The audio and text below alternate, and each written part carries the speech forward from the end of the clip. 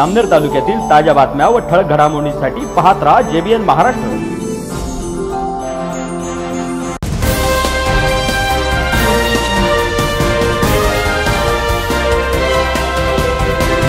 नमस्कार मी मिनल चौधरी. पाहूया काही ठळक वृत्त. जामनेर शहरातील बारा दुकानांना लॉकडाऊनमध्ये नियमबाह्य आपली दुकाने उघडल्यामुळे सील करण्यात आले आहे.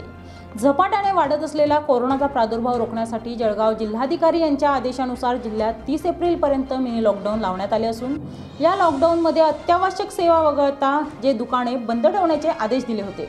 अशा दुकानदारांनी आपली दुकाने नियमबाह्य उघडल्यामुळे अशा बारा दुकानांना नगर परिषदेमार्फत सील करण्यात आले आहे. त्याचबरोबर नगर परिषदेचे मुख्याधिकारी राहुल पाटील हे नगर परिषदेच्या पथकासह नगरपालिका चौकातील गर्दी कमी करण्यासाठी गेले असता भाजी विक्रेता संतोष च- सोनवणे हा बिना मास्क पथकाच्या अंगावर धावून गेल्याने त्याच्यावर जामनेर पोलीस स्टेशनला गुन्हा दाखल करण्यात आला आहे.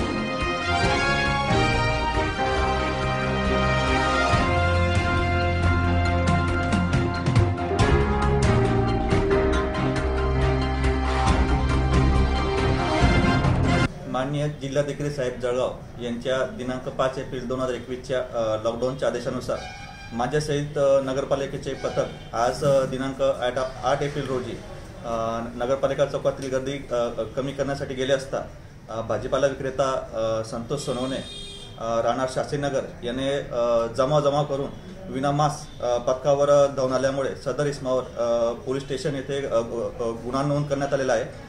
आणि लॉकडाऊनचे आदेश असताना सुद्धा जे नॉन इसेन्शियल दुकाने सुरू होती अशा दुकानां दुकानं सील करण्याची कारवाई देखील नगर परिषद परिषदेमार्फत करण्यात आलेली आहे.